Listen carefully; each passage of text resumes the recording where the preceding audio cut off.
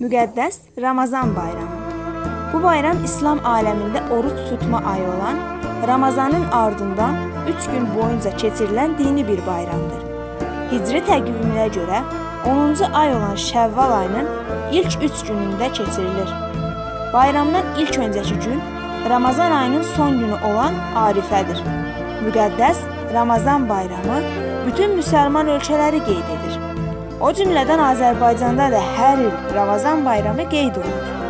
Hər il bu bayramda edilən ən gözəl dualar Qarabağın azad olunması və bu gözəl bayramı Qarabağda qeyd etməkdir.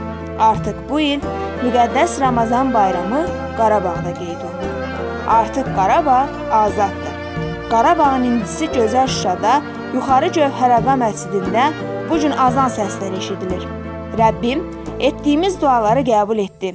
Qarabağ öz doğma yurduna, Azərbaycana qayıtdı.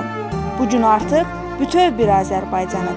Bu gün Şuşanın Yuxarı Gövhərağa məscidində prezidentimiz cənab İlham Əliyevin Şuşanın azad olunduğu zaman söylədiyi nitq qürurla ilahiyyatçılarımız tərəfindən yenidən səslənir. Əziz Şuşa, sən azadsan.